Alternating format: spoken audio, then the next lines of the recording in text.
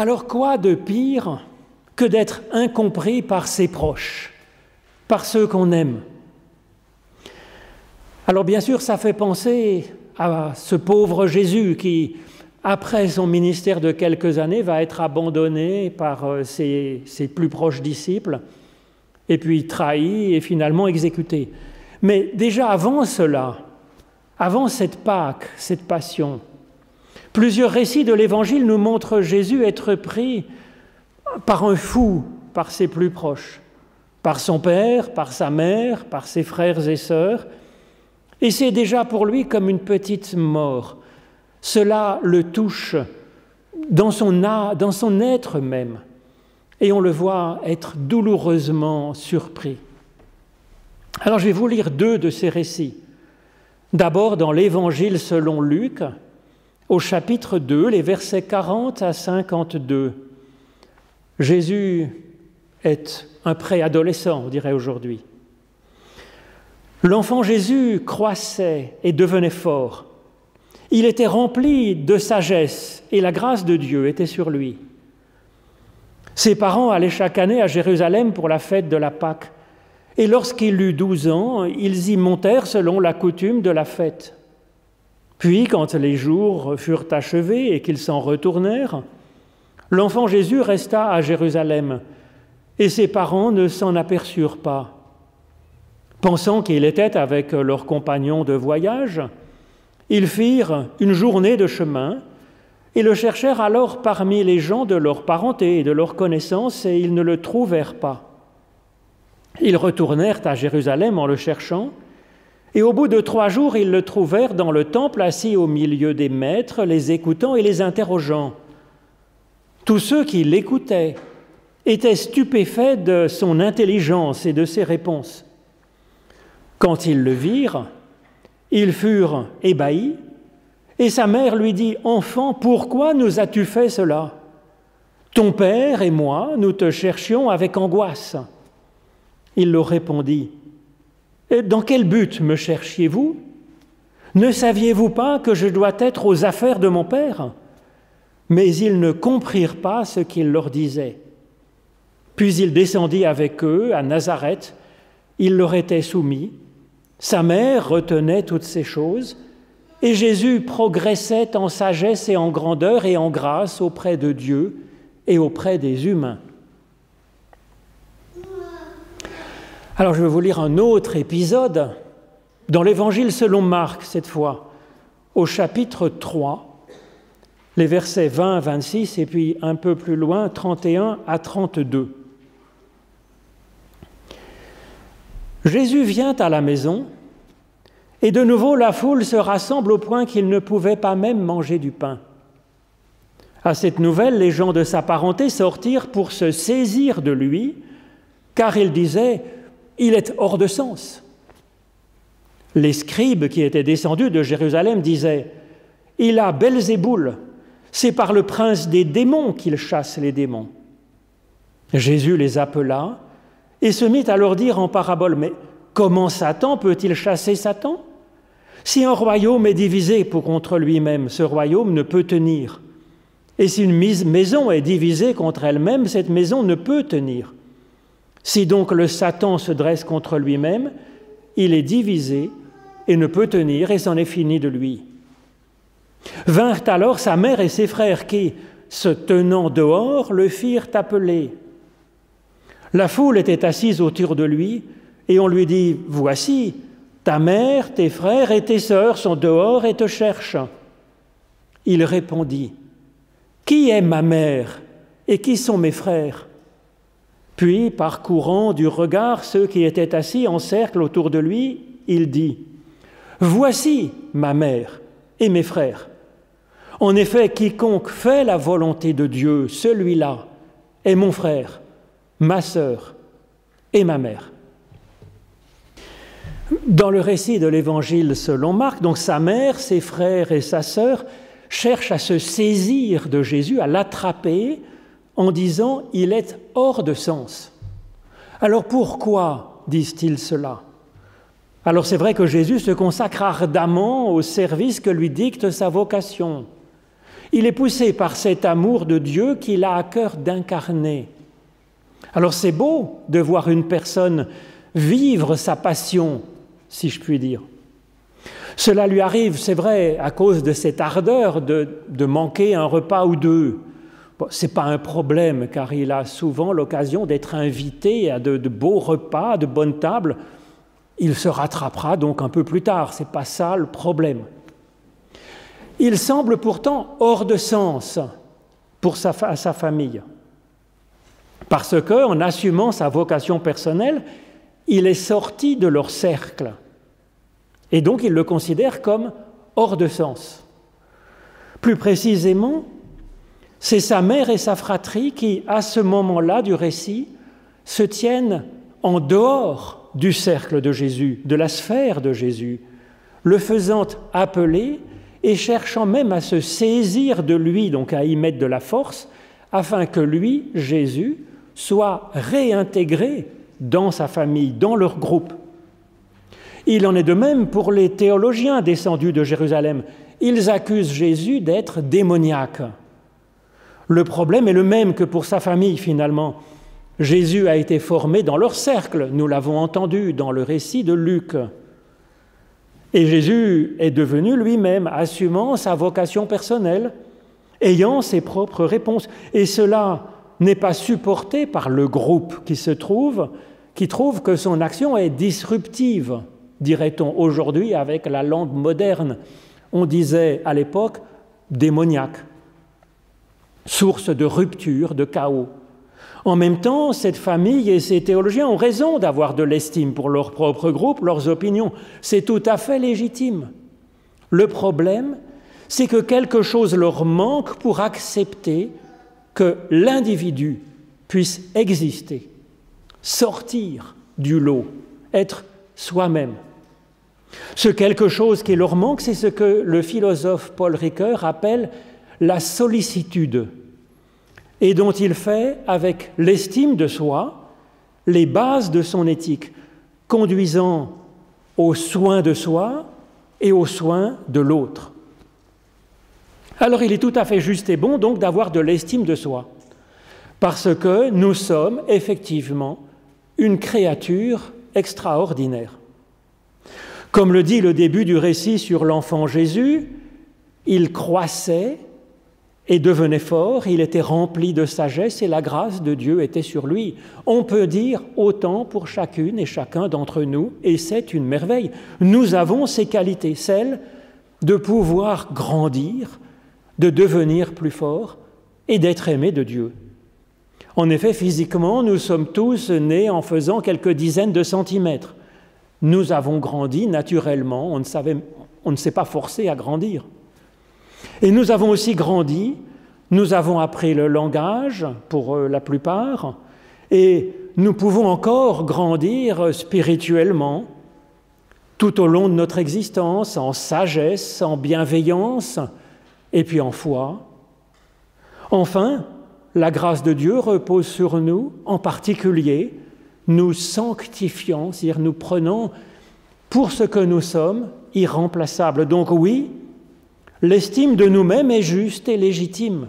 Elle est un écho de la grâce de Dieu. Estime aussi pour euh, les cercles qui nous ont permis de naître et de grandir, comme le fait ici Jésus. Ricoeur place donc l'estime de soi comme le point de départ, nous permettant ensuite de reconnaître qu'il y a un autre qui n'est pas moi et avec qui je peux entrer en dialogue un toi que je peux écouter, que je peux interroger et à qui je peux répondre. C'est donc, après l'estime de soi, l'ouverture à la sollicitude. Et c'est ce que fait Jésus dans son interaction avec les théologiens du temple de Jérusalem. Il est dit, Jésus était assis au milieu des maîtres, les écoutant et les interrogeant. Tous ceux qui l'entendaient étaient stupéfaits de son intelligence et de ses réponses. Et cela nous est donné comme un modèle de fonctionnement dans un certain sens, faisant grandir tout le monde. Les écoutant et les interrogeant, c'est une réelle reconnaissance de l'autre. Et cette reconnaissance n'empêche pas Jésus d'apporter ses propres réponses, de faire sa synthèse des différents points de vue entendus, de ce qu'il a pu observer, et d'apporter son point de vue, sa réponse. Et le fait donc pour Jésus d'avoir son propre point de vue ne l'empêche pas d'écouter les autres du groupe et même de creuser ce qu'ils disent, de les interroger, de mieux comprendre. En retour, nous dit le texte, certains théologiens l'écoutent, lui, Jésus. Manifestement, pas tous, selon le texte qui parle de ceux qui l'écoutent. En creux, cela veut dire que certains ne le reconnaissent pas comme étant digne ben, d'apporter une parole, d'apporter une réponse personnelle. Comme chaque fois que deux attitudes sont mises en scène dans le texte biblique, cela nous place devant une bifurcation, devant une alternative dans notre propre façon d'être au monde. Cette bifurcation, c'est celle de la sollicitude ou non, en fait. Écouter l'autre n'enlève rien à l'estime que l'on peut avoir de soi-même. Il nous est possible d'exister tous les deux et d'interagir et de nous reconnaître mutuellement, ou même unilatéralement en fait, et d'apporter chacun notre propre réponse tout en prenant soin de l'autre. C'est ainsi, nous dit le texte, que tous ceux qui l'écoutaient étaient stupéfaits, stupéfaits de ce que Jésus exprimait et de sa façon de réfléchir. Ce verbe être stupéfait, c'est en grec celui qui a donné en français le verbe exister. Ils sortent d'eux-mêmes, prenant conscience que d'autres personnes existent avec qui on peut discuter sans avoir les mêmes réponses en toute chose. C'est cela même qui était insupportable à ceux qui n'écoutent pas Jésus, sa famille et les théologiens intégristes. Ils restent dehors. Et du coup, quand Jésus s'exprime, il leur semble, lui, être hors de sens, d'être en dehors, d'être ex, de se tenir en dehors, au lieu de sortir eux-mêmes de leur bulle en écoutant ce qu'il a à dire, c'est Jésus qu'ils place hors du champ du possible, hors jeu. Et donc le même verbe exister devient pour eux une injure, il est hors de sens. C'est ce même basculement de signification qui a fait du beau verbe choisir, prendre position, airetizo en grec, c'est devenu pour l'Église impériale être hérétique. C'est-à-dire c'est l'injure ultime faisant de celui qui a une opinion personnelle un paria frappé d'anathème, considéré comme en dehors du groupe, en dehors de l'Église. La façon d'être de Jésus, assis au milieu de ses maîtres du temple et de ses disciples, montre un tout autre modèle pour la personne humaine et pour l'humanité. Jésus écoute et questionne d'une part, et d'autre part, il fait sa propre synthèse et apporte ses propres réponses.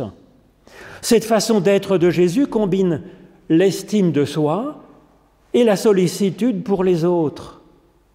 Et ce récit nous dit que cela le fait progresser en sagesse et en grandeur et en grâce devant Dieu et devant les hommes. Il était pourtant déjà rempli de sagesse au début du récit.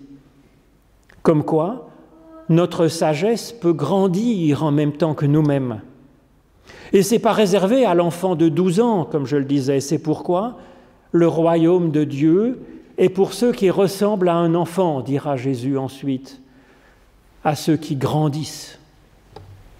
Alors il est compréhensible que nous progressions en sagesse et en grandeur en écoutant en particulier des maîtres, ceux de notre génération, et puis ceux des générations qui nous ont précédés. Oui, mais ce récit nous invite même au questionnement qui va affiner finalement, qui creuse qui met en tension les différents points de vue et puis les observations que l'on peut faire par soi-même dans notre vie, que nous pouvons recueillir, et puis ensuite, après cette synthèse, eh ben, d'apporter notre réponse. Et apporter notre propre réponse, C'est en fait un droit, mais c'est même aussi un devoir, c'est notre responsabilité de répondre, littéralement. L'éthique chrétienne, c'est ainsi une éthique de l'écoute, respectueux, du questionnement pour creuser, et puis aussi de la responsabilité, de la réponse personnelle. Et c'est aussi fondamentalement une éthique de la sollicitude, du soin de l'autre. Car c'est cela qui permet d'écouter et de questionner l'autre, alors même que par définition, nous avons des points de vue en partie différents, puisque l'autre est autre. Nous avons là fondamentalement cette sollicitude et cette estime de soi que Paul Ricoeur associe intimement. Sollicitude et estime de soi qui sont faits pour être vécus ensemble, qui se nourrissent l'une l'autre, qui se compensent l'une l'autre. C'est ainsi que Jésus progresse en sagesse et en grandeur, mais aussi, peut-être bizarrement, en grâce devant Dieu et devant les humains. Alors bien sûr, avant cette interaction féconde, Jésus avait déjà la grâce de Dieu sur lui. Il l'avait senti déjà, puisqu'il appelle Dieu son Père.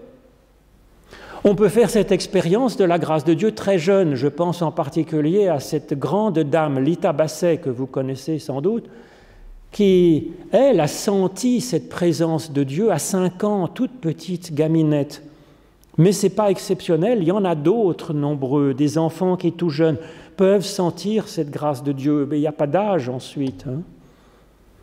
Et pourtant, cette interaction très humaine qu'il va avoir avec les théologiens lui permet encore de progresser dans la grâce de Dieu. Non pas que Dieu l'aime plus parce qu'il va creuser sa théologie et faire de la théologie, Dieu l'aime déjà à fond, bien entendu. Mais dans cette façon de réfléchir, de creuser la théologie, eh bien ça peut décaper quantité de choses qui viennent en nous parasiter la confiance en la pure tendresse de Dieu à notre égard. Cependant, cela ne suffit pas de progresser ainsi en sagesse, en grandeur et en grâce devant Dieu, parce que tout ça est trop personnel, trop individuel. Jésus progresse aussi, selon ce texte, en grâce devant les humains. Alors oui, quelques personnes du groupe l'ont écouté et ont manifesté ainsi qu'il existait et qu'il avait du sens dans sa façon de répondre d'une façon personnelle. Cela a donné à ses auditeurs un coup de pouce pour exister, au sens de sortir de la pensée qu'il existerait une seule vérité, celle du groupe, dont on est très content d'être membre. Mais en même temps, cet acte de sollicitude des auditeurs pour l'enfant Jésus a participé à faire grandir et progresser Jésus lui-même. Cette sollicitude des auditeurs, ils ne sont pas forcés d'être d'accord avec ce que dit Jésus, mais ils ont entendu qu'il avait un point de vue. Cette sollicitude lui ont permis d'exister comme adulte, digne d'avoir un point de vue, digne d'avoir une interprétation personnelle de la Bible. Et je pense que c'est ce que notre Église doit être. Non pas un groupe qui tient absolument à apporter sa réponse aux autres, des réponses qui leur seraient comme imposées, mais un service qui aide chaque personne, chaque fidèle à devenir adulte dans sa foi, dans sa réflexion, pour qu'il puisse apporter ses propres réponses.